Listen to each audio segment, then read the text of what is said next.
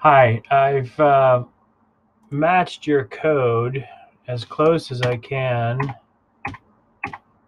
as possible to what you have written. Function quiz builder, log, quiz length, etc. from there. Uh, also, uh, so let's try that out first. All right, and And now, eh, ah.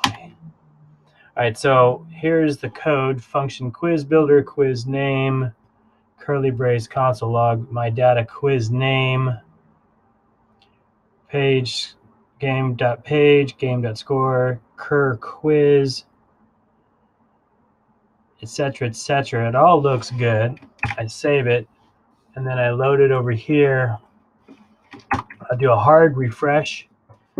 Uh, and now you can see I have some of the information down here, but I was under the impression when I change this, I should get what you're getting, which is. Uh, also, uh, so let's try that out first. And this time, uh, when I do change this, you're going to see that right there. You change it, and I get the objects.